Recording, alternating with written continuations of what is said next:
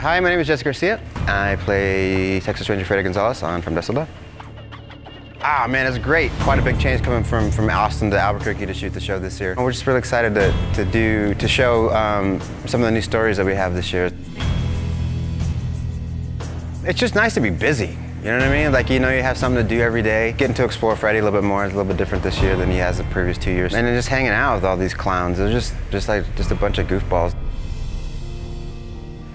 Oh, man, everyone has their own quirks, but I think Jake's hilarious. Uh, Jake Busey. I have a lot of scenes with him this season, and, and it's hard for me to make it through a take. I'm ruining a bunch of takes. Jake thought he was the funniest person on set. Is that what he said? He did say that, yeah. What? A, I'm gonna say Zane now. Ah, Deadpool. Deadpool was amazing. Deadpool's probably my favorite right now. Yeah, Deadpool. Deadpool. Can't wait for you guys to see this new season. Uh, it's gonna be fun. It's gonna be different, and these guys kick ass.